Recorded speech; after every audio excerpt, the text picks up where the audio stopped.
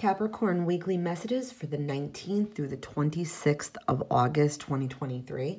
Check back weekly for more readings like this one and know that I'll never ever solicit you.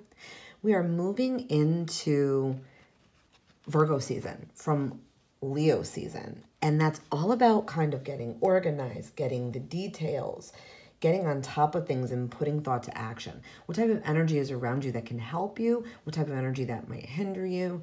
And some daily advice for healing. Let's get into this for you. So, what do we have? So, we've got energy protection for you, Capricorn.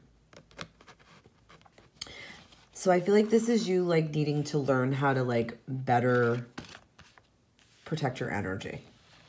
So, I feel like you might believe that you're unsafe and it could be creating more of a feeling of that and might make you be attracting more people that are kind of like throwing your energy off or throwing your energy out of balance or, you know, making you feel crazy or not in control of your energy or yourself. And, um, you know, you might be spreading yourself too thin.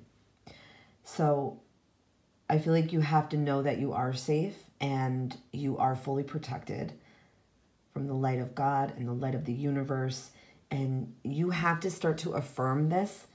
And I feel like you might be feeling really overwhelmed. To me, this is like screaming spiritual awakening, um, finding out, gee, I'm an empath for the, you know, this this is to me like a lot of energy all at once overwhelming you. This is to me like a change in consciousness about it. And uh, an awakening and, and being becoming aware that you are this way you are more sensitive to energies around you. You may work a job that you know is very draining. If you work in healthcare it's very very very rewarding but it could be very very draining especially if you're not protecting your energy you could benefit Capricorn from like an evil eye or a pennant of some kind or a selenite wand or crystals that can help you.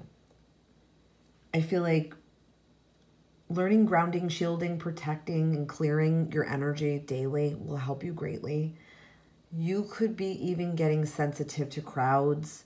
You could be even becoming almost a little bit of a like a recluse where, you know, you go out and your energy gets spent up and then, you know, maybe you want to hide behind closed doors for a few days. I feel like there's a lot of people too that suck from you. There's a lot of people who need from you. There's a lot of people who lower your vibration because they're in a lower vibration you just have to try to find what your center is, Capricorn. Your center is a place of peace, a place of safety, security within yourself. Try not to be around low energy people. Try not to talk to them. Try to, you know, turn your body away from these people when you're speaking to them because direct contact, like belly button to belly button, they're going to suck you. Try to keep your thoughts positive. Try to visualize yourself in white light and around you and around your space and start at your head and let it kind of flow all throughout your aura and let it kind of like be like a shower of light all around you like so it could kind of like suck you up into that light and protect you like you've got shields around you like you've got an electric fence around you. Try not to fear or give in to fear thoughts. That does not help. It attracts more negative energy and entities to you and it gets harder to combat. But when you imagine the white light or the whatever color you could do, golden light, when you imagine that this light is protecting you and shielding you from harsher energies, it can really help. I also feel like once you align with the truth and believe it, you will begin to see results immediately.